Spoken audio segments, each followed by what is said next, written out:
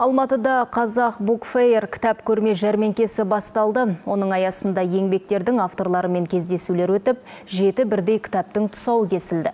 Олардың қатарында Жошы хан тарихи романы, періштелер жоқ жерде, қазақ қазынасы және тағы да басқа туындылар бар.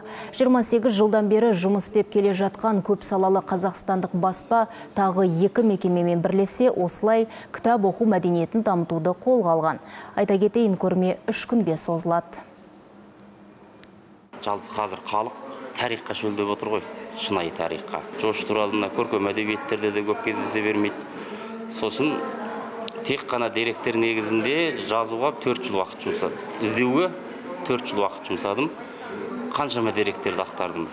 Қытайы бар парсы бар жаңағы енді. Кітап оқу ол бір әдетке айналу керек. Сондықтан да біз ересектерге де және балаларға арналған да бағдарлама дайындап алып кеттік яғни ересектер өздеріне қызықты авторлармен сөйлесіп олардың жаңағы ойын өзекті сұрақтарын қойып олармен тілдесе алатын болса балалары біздің тегін ұйымдастырылатын мастер класстарға қатыса алады.